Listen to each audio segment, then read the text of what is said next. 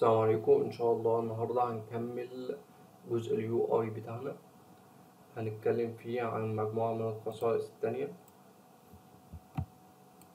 طبعا هنعمل عنصر أو shape بالشكل ده. أكبر شوية. طبعا هنا لقينا العنصر موجود ليه border طبعا ممكن نقدر إن إحنا نخفيه ال border بتاعه أو ن activate ه بالشكل ده. ونقدر إن إحنا نتحكم في الخصائص بتاعته اللي هي ال size وال dash وال gap. طيب أقدر أتحكم إيه ال dash وال gap وال... وال icons اللي أنا شايفها بالشكل ده؟ طب هن... هنعرفها دلوقتي مع بعض إن أنا أقدر إن أنا ازود ال size بتاع ال border بتاعي بالشكل ده. كده لاحظت معايا في الشكل إن هو زاد معايا ال size بتاعه. طيب إيه ال dash؟ ال dash دي عبارة عن نقط. معنى كده إن أنا مثلا لو زودت رقم ال dash دي هيخلي لي ال border بتاعي عبارة عن نقط بالشكل ده. لقيت إن ال border بتاعي بقى أو ال stroke بتاعي بقى عبارة عن نقط طيب ال gap ده إيه ال gap ده؟ ال gap دي هي عبارة عن المسافات ما بين كل نقطة. لو أنا زودت مثلا خليت ال gap دي عشرة هلاقي إن المسافات كبرت. المسافات ما بين كل نقطة كبرت. لو أنا ضغطت على عشرة كده وضغطت enter هلاقي المسافات ما بين كل نقطة كبرت. ولو قللتها هلاقي إن المسافات قلت ما بين كل نقطة. تمام؟ طيب إيه ال icons اللي موجودة تحت دي؟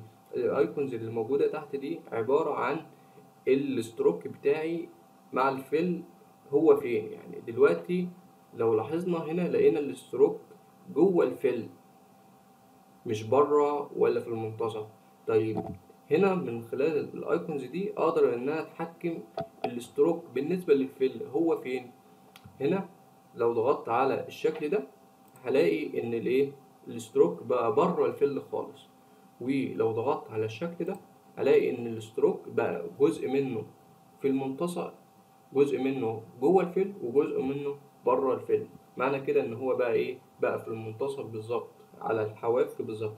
طيب إيه ال icons اللي هي موجودة إيه ال icons اللي هي موجودة بالشكل ده؟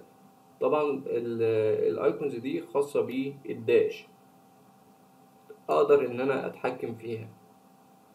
يعني على لشكل ال dash لو ضغطنا على الشكل ده هلاقي ان إيه شكل ال dash اتغير معايا بالشكل ده. تمام؟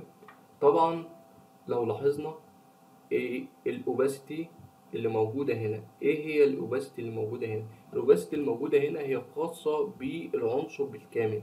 أقدر إن أنا أعمل له شفافية بشكل كامل. طيب إيه الفرق ما بينه وما بين ال opacity اللي موجود هنا؟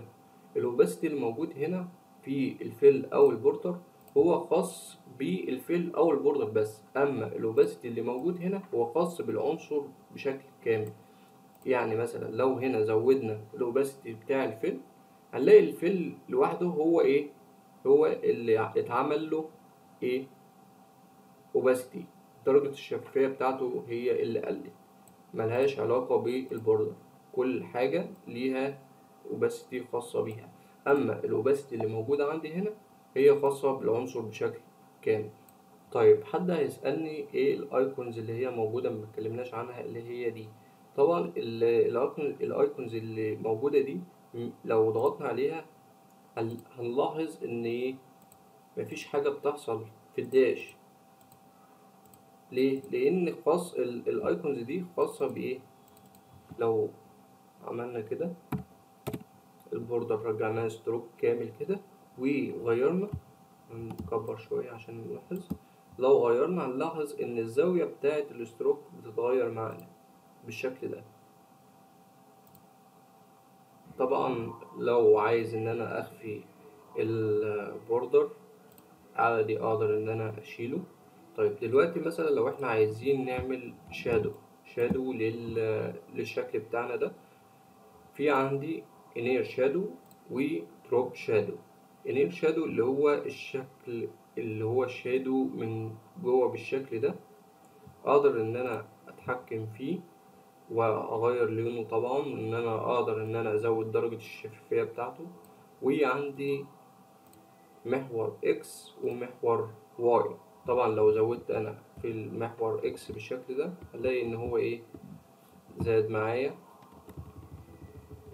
اللي هو محور Y زاد معايا بالشكل ده ومحور X بالشكل ده. تمام؟ طيب إيه ال drop shadow؟ ال drop shadow اللي هو متعودين عليه اللي هو الجزء اللي تحت ده. طبعا لو مثلا لو زودنا درجة الشفافية بالشكل ده كده هنلاحظ أكتر إيه؟ ال drop shadow بتاعنا. وزودنا مثلا الاكس الجزء بتاع الاكس والجزء بتاع الواي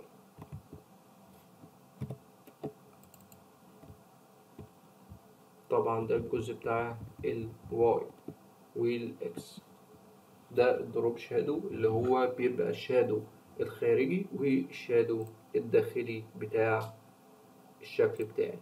طبعا إحنا متعودين طبعا ال shadow بتاعي بيبقى إيه درجة ال opacity بتاعته قليلة متبقاش إيه تقيلة بالشكل ده.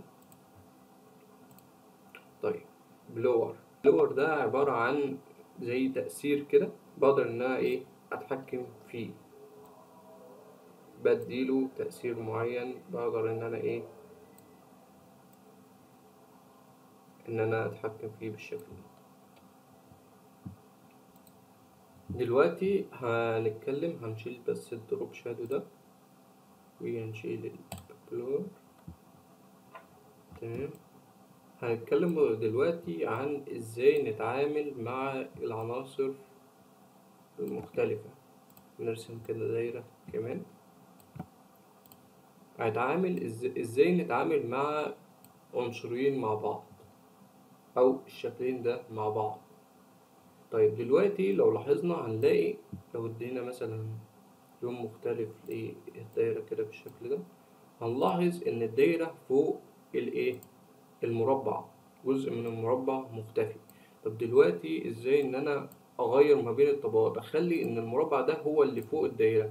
طبعا من خلال إن أنا أسحب الدايرة من خلال الطبقات اللايرز هنا عندي عندي هلاقي اسم ال- المربع هنا واسم الدايرة. تمام؟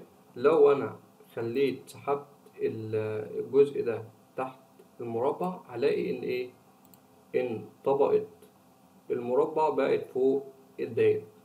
أو من خلال ال keyboard لو عملت control ودال control دال بخلي الشكل فوق و control بخ- برجعه لتحت طبعا لو ضغطت على control حد أحدد الأول العنصر بتاعي اللي أنا عايز أخليه. مثلا لو حددت مثلا عنصر الدايرة وعايز أخليه فوق المربع ده. هعمل إيه؟ كنترول ودال